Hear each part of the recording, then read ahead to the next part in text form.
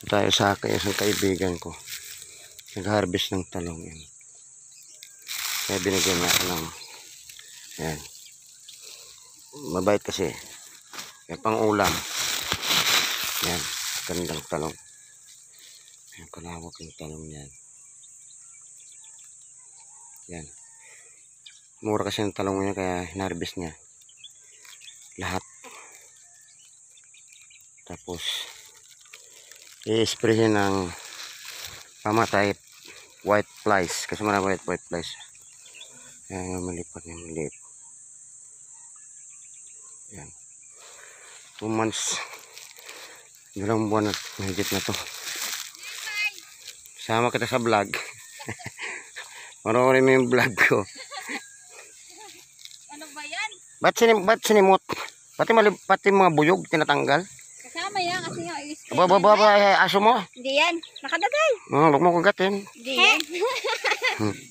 Ayan ah. Ayan yung may-ari.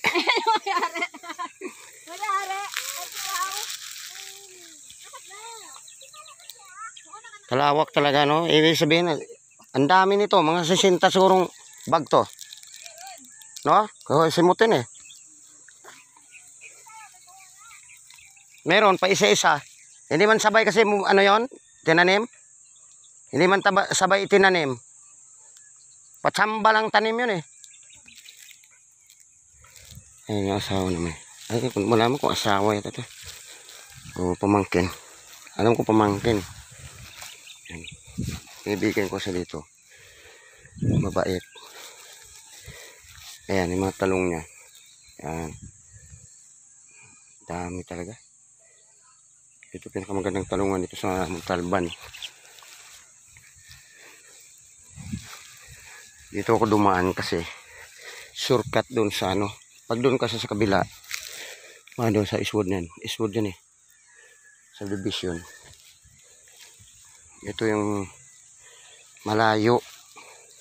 Iikot pa ako isang kilometro pa, tricycle. Kaya dito maglakad ako. Mga 20 minutes. Nasa, ano na ako sa kabila sa aking student na ulayan. Ayan, ang daming bunga. Ayan, mga tagapitas na. Ilan tagapitas na? Apat. Isang tagahakot. Ayan, kalakas tubig. Ayan yung patubig niya. Pakalakas ng tubig. Ayan yung mga, ito okra. Kasi hindi na kayang asikusuhin na. Pumukus na lang sa talong. Ay sili oh. Bagsak presyo. Sobrang mura. Pag ganito summer kasi, sobrang mura. Ayan. Ang daming bunga talaga oh.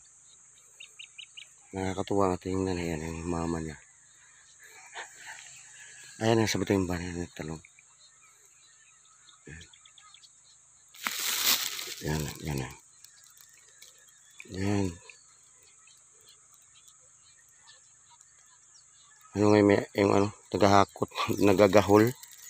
Oh. Gahol na gahol kasi yung tagapitas. Tatlo pala ito pitas. Hey, bye!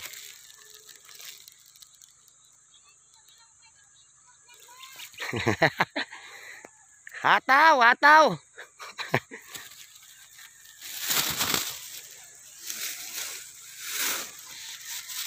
Shout out dyan, bye. Saan ka na? yan, yan, yan, yan. Utol niya.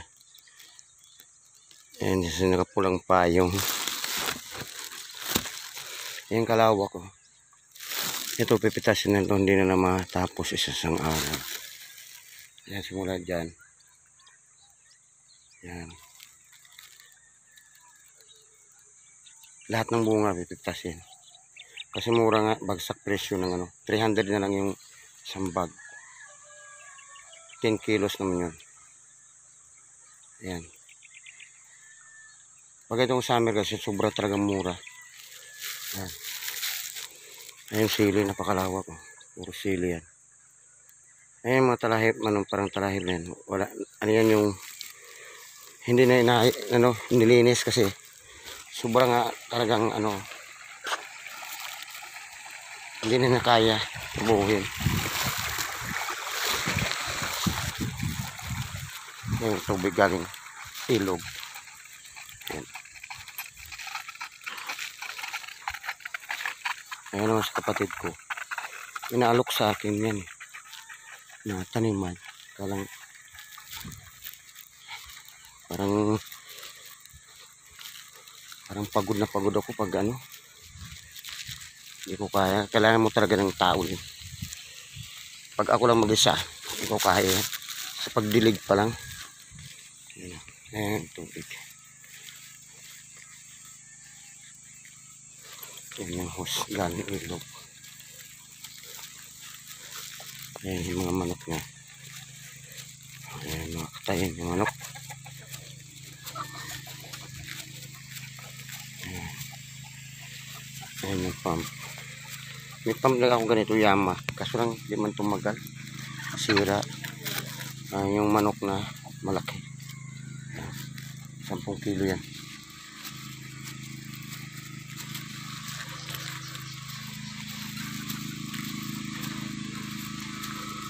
Ganda pala sa kapatid ko na to.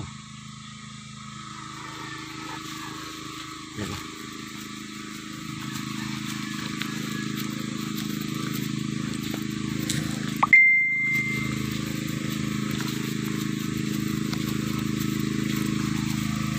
Yan yung pinang tubig na ano. Dito na kinakuha yung tubig. Every 3 days nag, uh, nag-ano sila.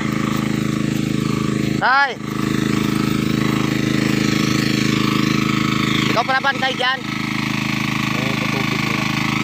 Ayun yung patubig nilang ano, galing dito sa ilog. Ayun. Ayun yung kanyang papa. Tatay Duming. Yan. Shout out tay! Panoorin mo yung vlog ko ah! Ayun yung kanyang father. Yan yung operator ng pump kasi kailangan matutukan mo to. Yung ano yan, tubig. oh. Taas. Halos. Yan.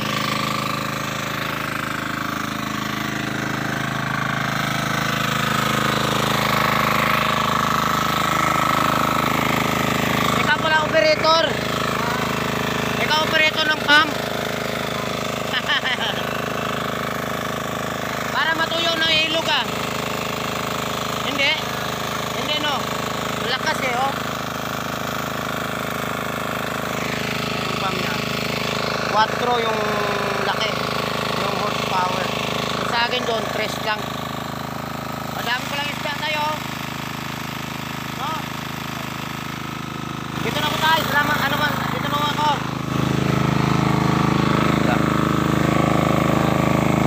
Tayo maliit na isda, talapia.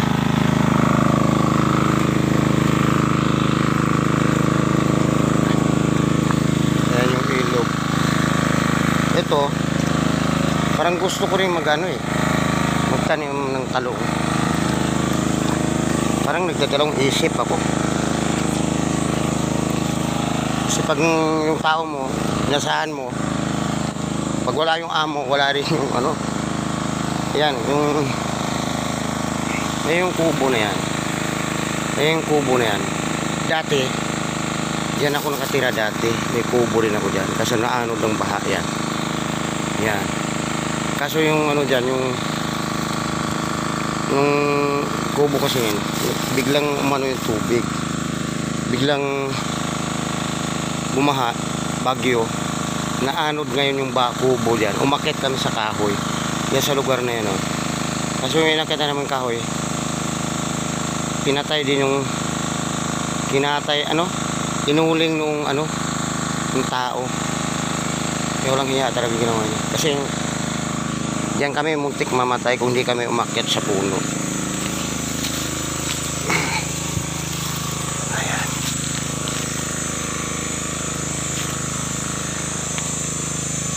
Ito. Ayan, yung ano. Itong sunod na linggo. Ako napapalit dyan. Ano ako nagtatanim ng talong dyan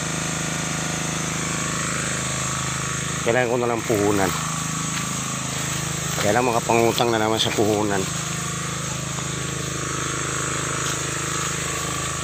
Ayan. Ahon. Ahon.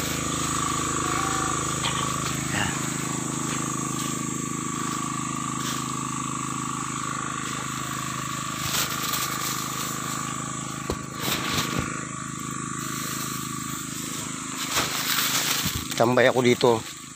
Yung sa bayaw ko sa kabila. 3 3 years, 3 years ako nagtambay dyan. 1993. 94, 95, ah, 2 years lang. Kasi 1995. Kasi mahirap yung tumambay ng, ano, ng budget. Tsaka mahirap yung umapay nang wala kang pera. Kaya nagtambay ako ng 2 years dyan. Ayan, yan, baka. Ayan. Dito, mga karang buwan, yung may-ari ng baka. Ayan. Nilipat yung baka. Pagdating niya, kinatay na ng magnanakaw. Kinuha yung apat na hita.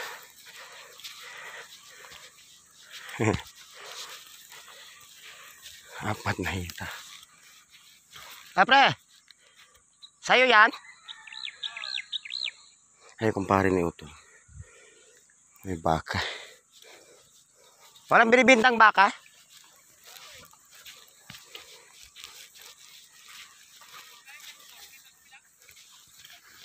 Binigay ni Diyo.